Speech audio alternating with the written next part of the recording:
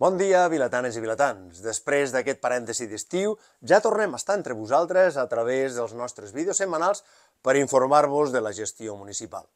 Avui, envoltat d'una simbologia molt especial amb un flaire de festa major, la més esperada i participativa, la nostra festa major.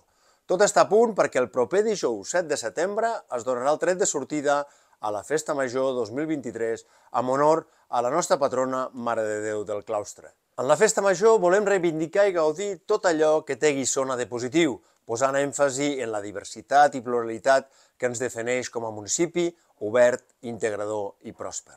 Sabíeu que s'oferiran més de 50 activitats, que l'Ajuntament hi destina a la Festa Major 90.000 euros i que tots els bars i restaurants s'han unit per fer el Mostoc conjunt a la plaça del Milenari i que el dissabte 10 de setembre per la tarda celebrarem un any més la Festa Multicultural, una festa per a tothom on hi participaran set comunitats de Guissona amb espais de degustació, tallers, esports, jocs tradicionals i música d'arreu del món. Hem repartit el programa pels domicilis, però si no us ha arribat el trobareu a les xarxes socials, als comerços i també a l'Ajuntament. Potser no és per a cadascú i cadascuna de nosaltres la seva festa major desitjada, però sí que ha de ser un motiu per no quedar-se a casa tot esperant que es faci fosc.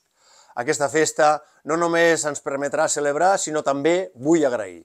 Vull donar les gràcies als qui han treballat incansablement perquè aquesta celebració sigui possible, a la Comissió de la Festa Major, a les empreses, entitats i associacions i també als comerciants, als membres de l'Ajuntament i a totes aquelles persones que han aportat el seu temps i esforç i han cedit els seus espais per fer que la Festa Major 2023 sigui una realitat. Ah, per cert, durant aquesta propera setmana podeu venir a l'Ajuntament de les 9 del matí a les 2 del migdia a buscar la senyera per engalanar el vostre balcó o terrassa. Guissonencs i guissonenques i veïns de Guardasibenes, feu de la nostra festa major un motiu d'orgull i compartiu-la. Després de les vacances, tot un seguit d'inauguracions. Aquest divendres 1 de setembre hem inaugurat a la Biblioteca Municipal l'exposició 70 cares de l'Antonio Condal i en Jordi Bonet, una exposició de 70 cares de persones, fills i filles de Guissona, d'arribades de diferents comunitats autònomes i de diferents països del món. Una exposició que pretén ressaltar aquesta diversitat que ens enforteix com a vila de Guissona. Moltes gràcies a l'Antonio i en Jordi per visualitzar la persona i la seva vivència com el tresor de creixement a la nostra vila de Guissona. L'exposició restarà oberta el dia 8 de setembre, dia de la Festa Major, i durant el setembre i octubre en horari de la biblioteca. Aquest cap de setmana també hem inaugurat la nova gespa del camp d'esports i del camp de futbol 7 annex, una millora que era necessària ja que feia 15 anys de la primera gespa, i també millorem el camp annex. Aquesta obra ha tingut un cost de 181.000 euros, amb IVA inclòs, i l'ha realitzat l'empresa Fidel Turf Poligràs. Durant aquestes properes setmanes s'acabaran també d'instal·lar els nous seients a les grades.